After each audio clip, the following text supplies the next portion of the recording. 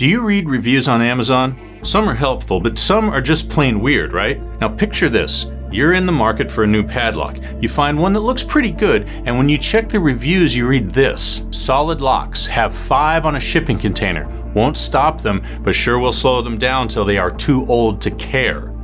Okay. Or say you're shopping for a chainsaw and see this review. Works excellent. Getting the neighbor to stand still while you chase him with it is hard enough without an easy to use chainsaw. And how about this one for a folding shovel? Keep in car for when you have to hide the bodies and you forget the full size shovel at home. Okay. What if I told you the man who wrote those reviews wasn't joking around? He was South Carolina's most notorious serial killer, Todd Kohlhepp, and he used those products to torture and kill seven people and keep women locked in a Conex shipping container where no one could hear them scream. You'll never look at the reviews the same way again. Let's get into this.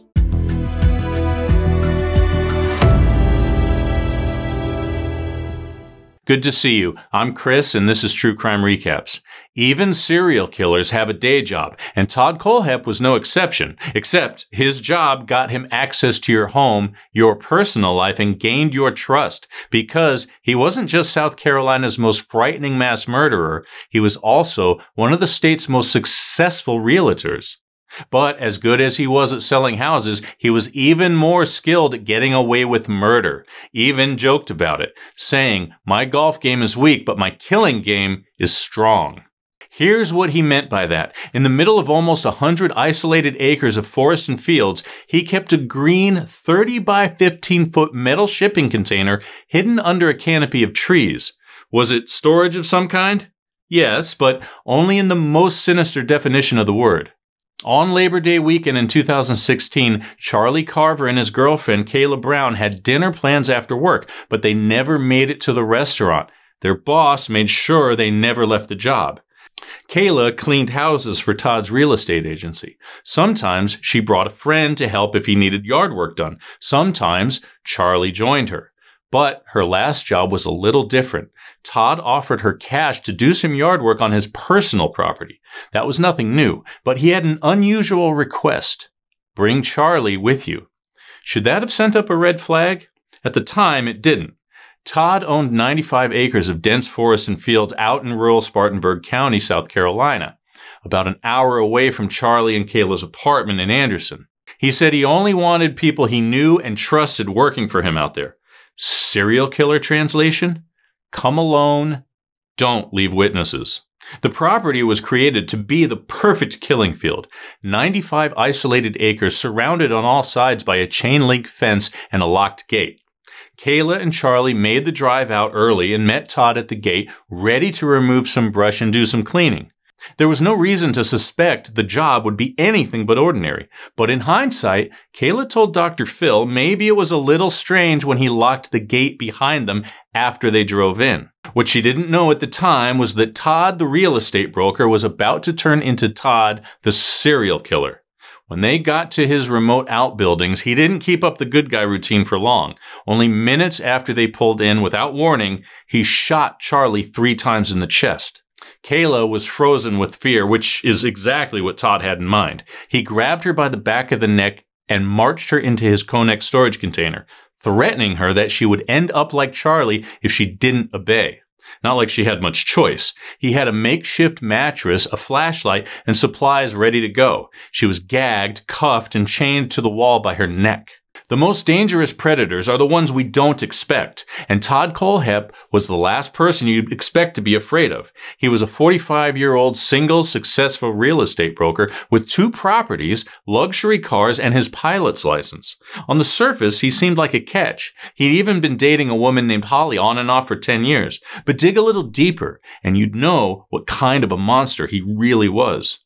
The man was born angry. In preschool, he was already attacking other kids. In first grade, he killed the family goldfish with bleach. By nine, he'd been institutionalized for his extreme anger issues and antisocial behavior. But the treatment didn't take. Neighbors described him as a devil on a chain. His one hobby was collecting weapons. You don't have to be a child psychologist to know that's not a good sign. By 15, he was living with his father in Arizona. That's where he took his first human victim. She was a 14 year old neighbor girl. He kidnapped and raped her at gunpoint, then threatened to kill her and her family if she told. Fortunately, she was brave enough to speak up. That twisted crime got him more than a decade in an adult prison and a spot on the sex offender registration list. But when he was released, it was like it all went away. It was way too easy for him to start over. He moved back home to South Carolina where he earned two degrees and his realtor license. How is something like that possible? All it took was one little lie on the paperwork, and by the time Kala and Charlie drove onto his property in 2016, Todd was the face of one of the most successful real estate agencies in town, and no one knew about his dark past. But back to that Labor Day weekend. With Kala locked down in the shipping container, Todd wrapped Charlie in a blue tarp and used the bucket of his tractor to move and bury his body. With him out of the way, Kala was alone and vulnerable, but there was still the question of what to do with Charlie's white Grand Prix. If anyone was looking, it would be easy to spot with a helicopter or drone. When it was finally found two months later, it had been spray painted brown and camouflaged with trees and branches. Todd had no intention of letting anyone find his prize until he was finished with her. He planned to keep Kala all to himself for years as long as she did what he wanted. She gave Dr. Phil a glimpse of her days in captivity. Every afternoon and evening, Todd traveled from his home in nearby Spartanburg out to her cage in the country so he could, quote, play with his toy. His routine went like this. Unlock her cage, take her into the main building where he had a makeshift kitchen, bathroom, and bedroom. Then feed her, rape her, and let her use the bathroom. Every few days, he'd even let her shower, but she was never out of restraints. According to Kala, Todd explained the concept of Stockholm Syndrome to her.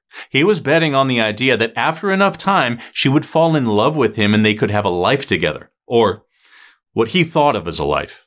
His dream for their future together was to keep her in a special soundproof room forever. And he made sure she knew that he was the kind of guy that could do it. He bragged about his skills as a killer, and he even promised to teach her how to kill alongside him if she behaved. The man wasn't just evil, he was delusional. He thought he was controlling her because she was the one in chains, but it was Kala who was playing him. All she needed was time. With enough of it, her friends and family could find her.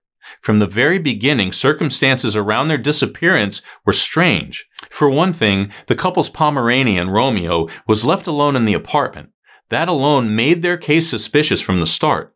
They obviously hadn't just picked up and left on a trip, but no one had a clue what might have happened. And then Charlie's Facebook page lit up with strange messages and updates. On September 1st, there was an announcement claiming he and Kala had gotten married. A week later, another post appeared telling people they were fine. Then things got even weirder. More and more posts popped up, bizarre messages, violent memes, and references to other missing people. Things Charlie wouldn't ever have posted to his page in a million years. Even friends asking for news about Kala got creepy responses. Take this conversation submitted to the Daily Beast. Posting as Charlie, Todd told a friend of Kala's she was, quote, with her husband. When the friend asked why Kala couldn't contact them, Todd answered, she doesn't want to. Then he said, the people that need to know that we are okay know that. Can you imagine how frightening and frustrating those messages must have been? But as strange as they were, none of the communications gave a clue about where Kala and Charlie were. So why didn't the police just ask Facebook to tell them where the posts were coming from? Well, that would have made things easier, but the court orders necessary to subpoena IP records from Facebook were far outside the scope of the small town South Carolina police. But they stayed on the digital trail and tracked Charlie and Kala's final cell phone signals all the way to Spartanburg County. But finding them would be like hunting for two needles in a giant haystack. Then they got an anonymous tip Someone called to say Kala was buried on a 100 acre property, and the only land fitting that description in the area belonged to Todd Kohlhepp. That's when they focused their attention on him. But who do you think phoned in a tip like that? Did someone know the monster Todd really was? He owned TKA Real Estate, a large agency with 11 agents working for him. From being described as a devil when he was a kid to promoting his business with his face on bus benches and billboards all over Spartanburg, he'd pulled off the impossible, masking his true self behind a good old boy public persona. Although there were signs that something was off. For one thing, he liked to watch porn at the office. That's not exactly realtor of the year behavior, and he got a little too close to his female clients for comfort. He lost some potential clients that way. Even the waitresses at the Waffle House avoided him when they could. When Todd came in, the male cook would have to take his order. But as creepy as he sounds, he was also able to control himself and carry on at least two serious relationships. One was a longtime girlfriend named Holly. Ironically, she loaned him the money to buy the shipping container. He convinced her he needed it to store his weapons and ammunition. She had no idea what he was really doing, although she would later remember an uneasy feeling she always had around him, but he kept that side of himself hidden from her. As a boyfriend, he gave her a lot of attention and made her feel important. What she didn't know was that she was actually his next target. On November 3, 2016, a joint task force of investigators from Spartanburg County and Anderson were serving a search warrant on Todd's land when they found something disturbing in his bedroom. Chains and U-bolts were screwed into the wall next to the bed. Handcuffs were in his drawer, and the house was filled with weapons. It quickly became clear this was no ordinary realtor. Their suspicions led them to the shipping container in the middle of the property. When she heard the noises, Kala stayed quiet at first. She thought Todd was trying to fool her, testing her to find out if she would call for help or try to escape. It wasn't until she heard the search party call her name that she yelled for help. They used a sledgehammer to break the five locks Todd had raved about on Amazon. They used Todd's own tools to force the doors open. Behind a blanket, all the way at the back of the pitch black box, was Kala's makeshift bedroom. They found her sitting up on a thin, dirty mattress with her neck chained to the wall and her ankle chained to the opposite corner. While they set her free with bolt cutters, she told them Todd had shot and buried Charlie. Meanwhile, while his sex slave was being rescued at his property in the country, another group of investigators were serving a search warrant at his house in town they were in the middle of explaining how they'd tracked his cell phone to the same area as Kala and Charlie's two months earlier when they got a call. That's when the conversation did a U turn. Take a listen. While we were here, all right, my sergeant served a search warrant on your property. Okay? We have Kala. Excuse me? We have Kala in your property. She was locked in a container. Okay? She has told us that you shot and killed Charlie.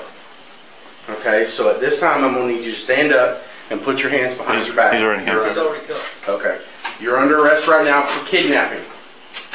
All right, they're continue to search your property. They're gonna continue, to bring, they got cadaver dogs down there. Okay. Okay, if you wanna help yourself, tell me where Charlie's at, so we can go find his body. That's, that's pretty much where we're at right now. Okay. Do you want to help me- yourself and tell me where the body's at so we can go recover Charlie's body? No, sir. You don't want to. No, sir. Okay. Why'd you shoot him? I didn't shoot anybody, sir. Okay, why'd you lock her in a container in your property? I was talking about. She's on your property right now, locked in a container. They just got her out of a, like a, um, they called it a specific Shipping name. container? Conex box. Conex box. She was locked in a container in a Conex box. They got her. We're, we have investigators, we have like 20 investigators on your property right now. Okay. and they have found her in the Conex box. So she never left your property. Okay. Okay, you locked her in the Conex box, and she has told investigators that you shot and killed Charlie. Okay, so I'm trying to give you an opportunity to help yourself and help us help you find this body because Charlie, she's saying Charlie's body, you buried Charlie's body on that property. No, sir. So you're saying you didn't lock her up, you didn't put her in the Conex box or anything. No, sir. I'm money an attorney. Um, Probably a good thing. Go ahead and put him in the back of your car. sir. But here's where the best part comes in. Kala had played her part so well, Todd had confided in her and bragged about the other murders he'd committed. During the 30 minute trip to the hospital, she spilled all the information she'd stored up over the 65 days she'd been in captivity. And what she had to say would shock investigators. Kala Brown was the key to solving a quadruple murder cold case known as the Superbike murders. On November 6, 2003, a customer and his son were making a payment on a go-kart at Superbike Motorsports in Chesnee. It was a family-owned and operated motorsports dealership and one of the more popular stores in town. When customers came in, they stayed to chat and check out the latest four wheelers, dirt bikes, and motorcycles. The father and son were there for a good half hour just looking around, and they weren't alone. He remembered another customer in the store, a man with small eyes, a narrow jaw, and wearing a leather jacket that looked too warm for the weather. Later that night, he learned that the store was the scene of a mass murder. The owner, Scott Ponder, his mother, Beverly Guy, the shop mechanic, Chris Sherbert, and Scott's best friend and service manager, Brian Lucas, had all been gunned down. And there didn't seem to be any reason for it. 19 shell casings from a 9mm were left behind, but they were clean. No fingerprints and no real leads. There was thousands of dollars of cash in the store, but nothing was taken. Theories ranged from a possible drug deal gone bad to a deadly love triangle between the owner's wife and a mysterious boyfriend, but every lead turned into a dead end. The case went cold. Then, 13 years later, Kala had a story to tell. The shooter they'd been hunting for was Todd Kohlhepp. Since he'd been in the store that day and was a previous customer, he'd actually gotten a police letter asking him to call a tip line if he had any information about the murders. He'd gotten away with it for more than a decade. But what's the point of being an evil genius if no one knows how smart you are? Kala was literally a captive audience, and he bragged to her about the mass murder, describing how he always wore two pairs of latex gloves when he handled his ammunition, even when he was target shooting. And that's why no fingerprints were found on the shells at Superbikes. But why kill the entire staff? The reason will make your blood run cold. He was a disgruntled customer taking revenge. Take a listen to a clip from his confession. So you bought a GSXR 750 from Superbike Motorsports. Bought the bike, um, had it 14 days, and it got stolen from the front of the apartment complex. Uh, Before it got stolen, I had gone back to them uh, a few days prior to it being stolen and told them that I was having a hard time riding it, and I was not so sure I had made a wise decision. Maybe I just, I don't know how to ride it. Gonna trade it for something smaller, uh, maybe a 600, or get a, uh, um, just walk away from it, get, get out of it. Um, they proceeded to give me little on the rude side about, uh, my inability to, to, to ride a, that kind of bike. No one ever taught me. So, I mean, I know I know how to operate the clutch. They, they had dropped it off in the apartment, Okay. so they knew, they knew exactly where it was stored, because the guy brought it over to me. You said I made a police report. I did. Actually, the law enforcement officer made fun of me. He informed me that that's, that's, that's a shame it got stolen before I, before I got a chance to write you a ticket.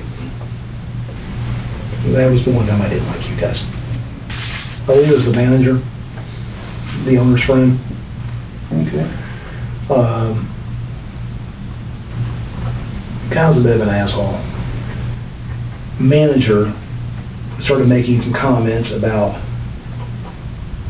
somebody. I, I'm, I'm going to have to loosely say because I don't remember the whole thing. But basically, great. Now we'll have something along the lines of we'll have another one to go pick up. And made some comments about the last one being stolen.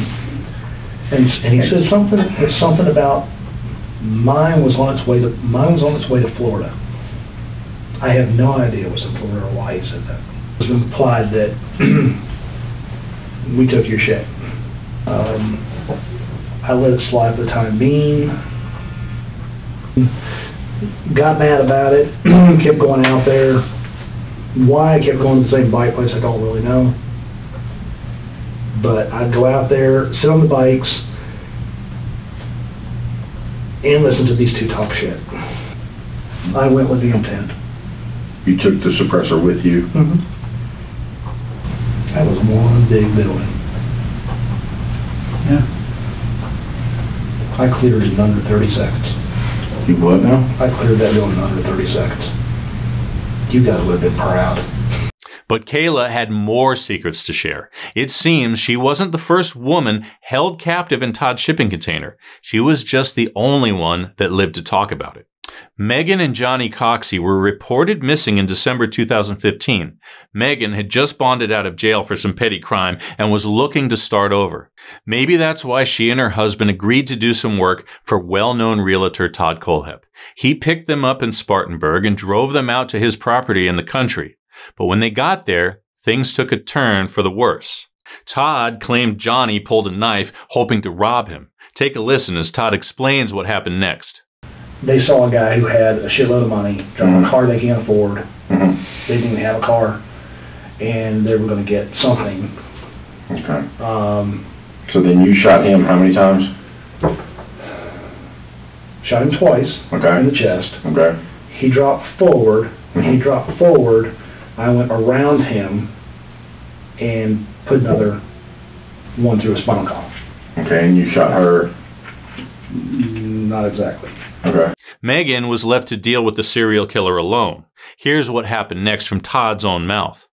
She panicked, and then she sat, I told, told her to sit down. She sat down. Mm-hmm. Uh, went ahead and cuffed her, Mm-hmm. patted her down, Mm-hmm. told her I wasn't going to hurt her. Mm-hmm. Uh, she calmed down, Mm-hmm. and I actually took her to the Conex. No, that's not true. I had her lay there for a while. 'cause I didn't know what the to do with her. Um, I didn't want her in my Conex because I had stuff in there. I didn't know what the hell to do with it. Putting her in with my guns is not a good move. I understand that. Uh, I actually had to go. For the first time, I was having a little bit of a panic of what the hell do I do with her. Mm-hmm. Uh, put her here, put her there, drop her. What the hell do I do? Do I call the cops? Oh shit, I got illegal guns. Uh, oh shit, oh shit, oh shit. Eventually, I went and locked her. I want to say I left her on that floor for a while.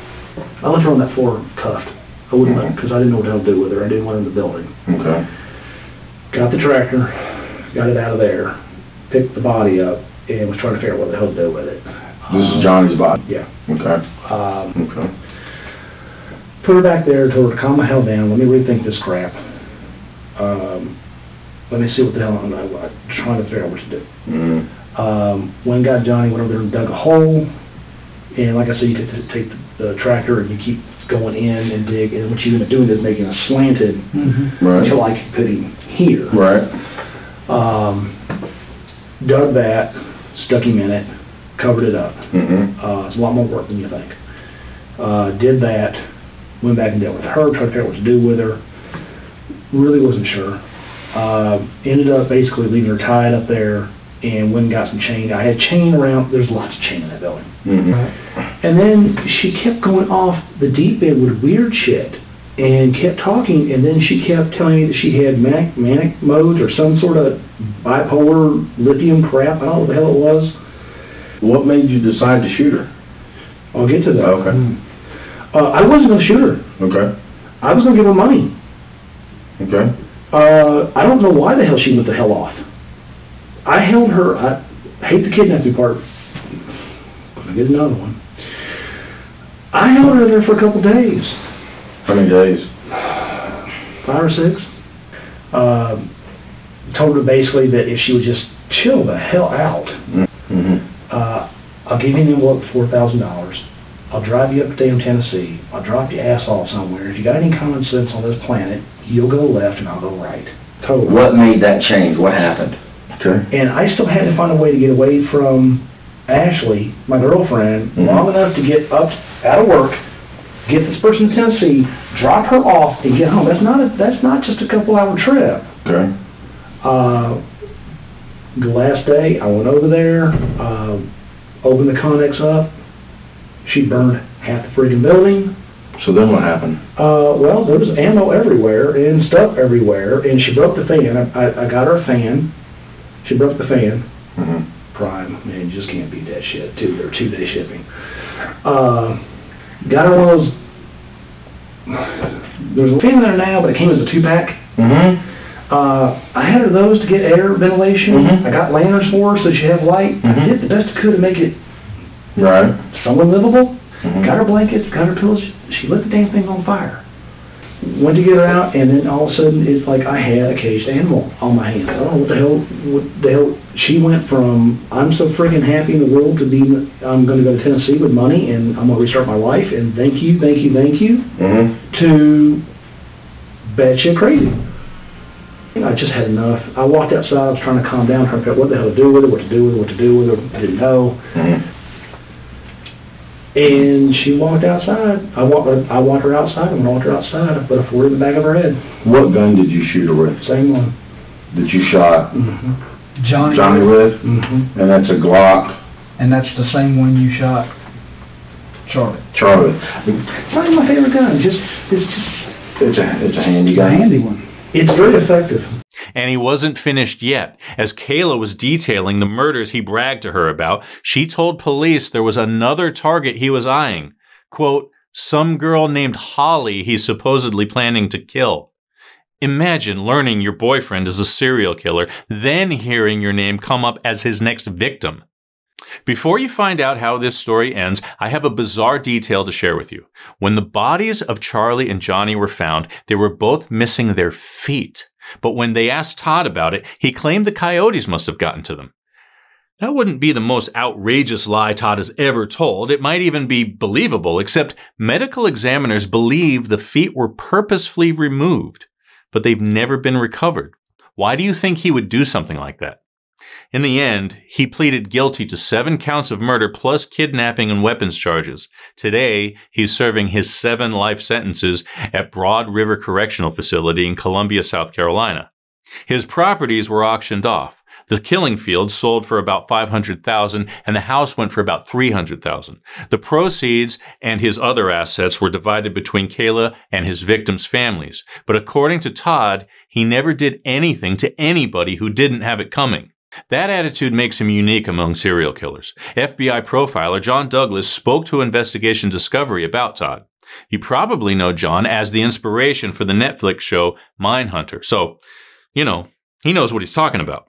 And he says Todd is different than any other serial killer he's ever run into. In his opinion, the only other monster with a similar need for retaliation was Dennis Rader, the BTK killer.